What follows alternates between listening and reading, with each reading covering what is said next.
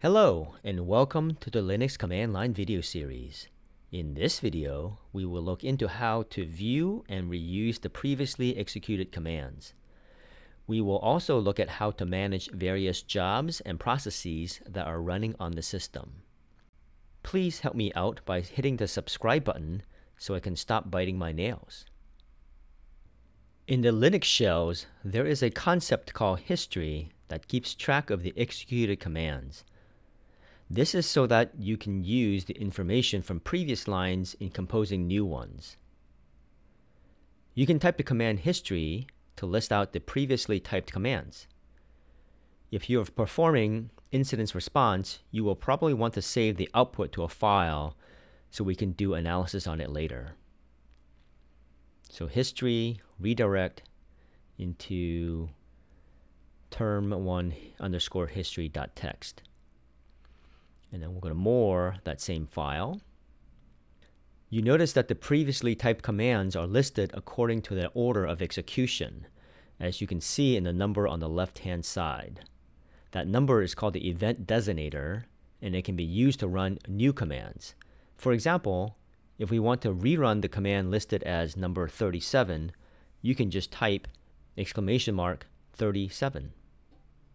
And the shell will execute the command from line 37 again. If you want to repeat that last command, you can type two exclamation marks. If you want to execute the last command that started with a certain word, you can type exclamation mark and then that command. For example, cat. And the shell will go back in time to the most recent command that started with cat and re-execute that. Let's say you want to execute a previous command that contained a certain keyword. You can type exclamation mark, question mark, and then that keyword.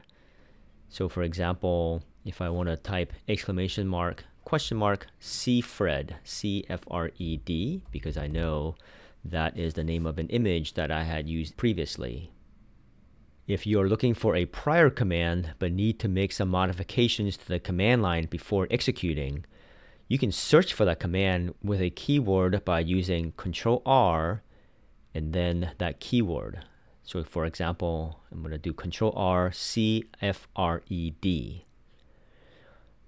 This will basically go back in time and give you the last occurrence of CFRED anywhere on that command line. If the display shows the command that you are interested in running, you can just hit the enter key to execute that command. If this is not the command you're looking for, you can hit Control R again and it will continue to go back in time looking for the second last occurrence of a command that has the keyword in it.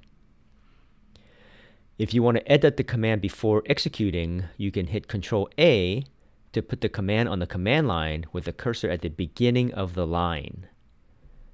And then you can go ahead and make your edits before hitting enter. Alternatively, if you hit Control E, it will put the command on the command line with the cursor at the end of the line, and you can start your edits from there. Another way to make modifications to a command is using the caret characters, which will substitute the text between the first two carets with the text between the last two carets from the previous command. So let's say I go ahead and execute a command called md5 sum and then I point it to the folder slash mntp1 slash capital S star. This will perform the MD5 sum of everything that starts with a capital S in that folder. Now let's say I want to rerun that command again, but I want to run the SHA-1. What I have to do is do caret MD5 caret SHA-1 caret. This will make the substitution of MD5 with SHA-1 and then execute the command. The number of commands displayed will go all the way back to when the shell you are in was initiated, up to a limit set within your environment. And you can see what that limit is by typing echo dollar capital hist size. In the case of the CAINE distro, this variable is set in the user's bash shell rc file so you can change it if you like. Another tip for using the history command, especially in the digital forensics and incidents response world, is if you want to get the actual executed time and date of the commands. To do this, we will set a special environment variable. So I'm going to type export hist time format equals double quote percent %f space percent %t space double quote. What this is going to do is add a date and timestamp to the history output. This information is already recorded in the system and just not displayed by default. Now, if we type history again, the output will be more useful to create a timeline analysis for digital forensics and incident response purposes. Now let's take a look at some commands that look at what processes the system is currently running.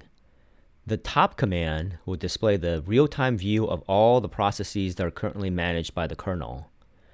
By default, the processes using up the most CPU time will be on the top of the list. This list is refreshed every 3 seconds by default. The first line of the display starts with the current system time. And then it shows you the uptime of the system in days, hours, and minutes. Next comes the number of users logged in currently. And the last set of data is the system load average over the course of the last minute, 5 minutes, and 15 minutes. For the most part, if you have nothing running on your system, then the load average will be close to zero. If you have just one process that is using up the CPU, then that number will probably be around 1. If you see the load average go over 3 or 4, that's usually a sign that some processes are running that you may not want running. The lower portion of the display shows the commands that are actively using your CPU. By default, the list is sorted by processes using the most CPU time. Viewing this display will give you a good idea of what processes are using up the most resources on your system. If you want to sort by memory usage, you can hit Shift M or capital M for memory. And if you want to go back by sorting by CPU, you can hit Shift P or capital P for processor. When you're done with looking at the results here on top, you can hit Q to quit or Control C to terminate the process. On a Linux system, because you can have multiple users logging in at the same time, as well as having one user log in multiple times, all these users can take up resources. To see what's running on the system, you can run the ps command to display the current processes. Running ps by itself will show all the processes that the users is running in that shell. This will give the basic information of process ID, the terminal where the command is being executed from, the amount of processor time this command has used, and the command itself. If you do ps with a dash f option, this is going to give you the full format, which means more fields of information as well as the arguments to the commands. If you run ps-e, the E option is going to allow you to see the processes for everyone else on the system. And the options can be combined, so you can run ps-ef. A common reason for why you would run the top or ps command is because you have a process that's running that you no longer want. To terminate that process, you can use the kill command. First, you need to identify the rogue process's PID or process ID by running the ps command.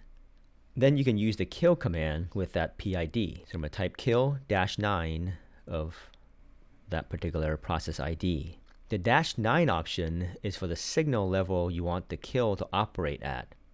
This number can range from 1 to 64, with 9 being the most severe. And that's the one I usually use.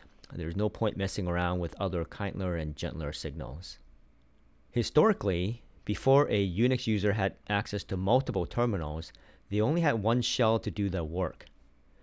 If you were running a program, that program would be in the foreground as it occupies the terminal until it's done.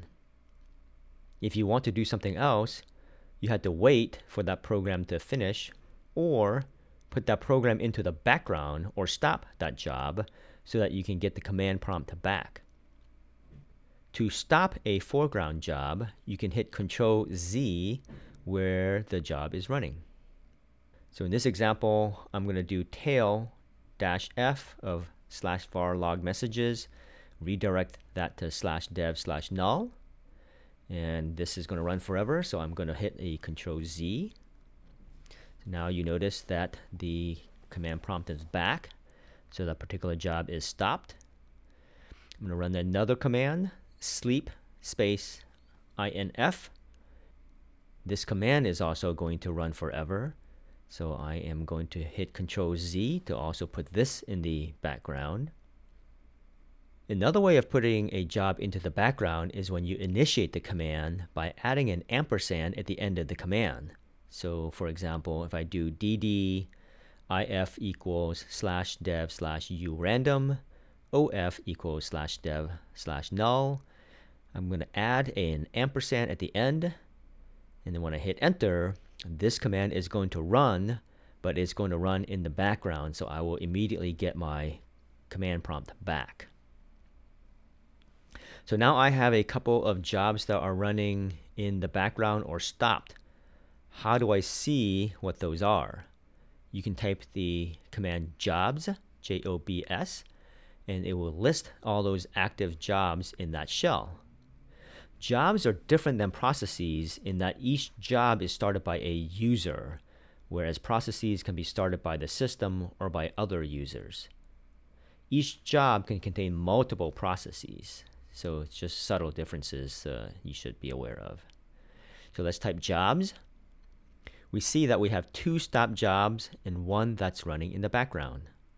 To change a stop job into a background job, you can type BG and then that job ID. In this case, let's do BG percent 2. This is going to put the second job listed here into the background. And if you want to continue a stop job, you can put that job into the foreground by typing FG and then percent job ID. So in this case, let's go ahead and do FG space percent 1. So this first job that was listed here is now running in the foreground, right? And it's obvious because our command prompt is not coming back to us. To kill a job in the foreground, you can use the kill command in another shell or use control C. So let's do that. So we've hit the control C. So now let's type jobs again. This time we're going to use the dash L command so this is also going to list out the PID in addition to the job ID. So let's go ahead and kill background jobs using the kill command. So we can do kill dash 9 of the second job here, percent 2. And we can also do the kill using the PID. So we're going to do kill dash 9 and then the PID of the last remaining job. So just to be aware, if you're following along, uh, your process IDs are unique. So don't type the exact same numbers as I'm typing because your process IDs will be different on your system. If you want to reboot your machine or shut it down, you can use the shutdown command. Typing just shutdown will cause the system to power down in one minute. If you use the dash R option, that will cause the system to reboot instead of power off. You can tell the system to perform its shutdown reboot procedure immediately by doing shutdown now, or you can delay it by a number of minutes by doing shutdown and then either with or without the dash R, depending on what you want to do, and then plus 5 for the number of minutes. So you can do plus 9, plus 1, plus 17,000, whatever your choice is. Or you can set a time for it to shut down or reboot by typing shutdown and then giving the time in a 24 hour format. So I'm going to do 1345 So it shuts down at 1:45 this afternoon. Alright, so that brings us to the end of this video where we learned about process control commands. We used the history command to look at previously executed commands. We looked at how to modify previous commands to form new commands. We looked at the top and ps commands to display processes.